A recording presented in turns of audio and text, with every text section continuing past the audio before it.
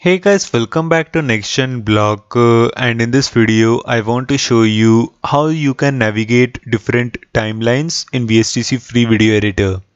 So it's actually super easy to navigate different timelines in VSDC. So without further delay, let's get started and see how you can do this.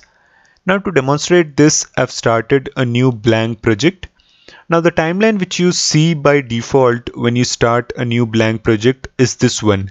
So this is the classic timeline. Now other than the classic timeline, four new different timelines have been introduced in the latest version of VSDC.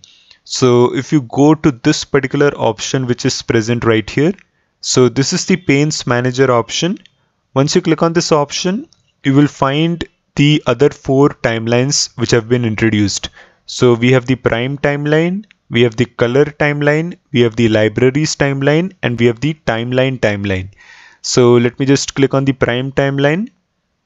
So this is the prime timeline. Let me just show you the color timeline. So this is the color timeline. Let me just show you the libraries timeline. So this is the libraries timeline. And finally, let me just show you the fourth and final timeline, which is the timeline timeline. So this is the timeline timeline. So what I would suggest to you is that you kind of play around all the different timelines and see which timeline suit you the most. You can also use different timelines according to the need of your project. But um, this is how you can navigate different timelines in VSDC.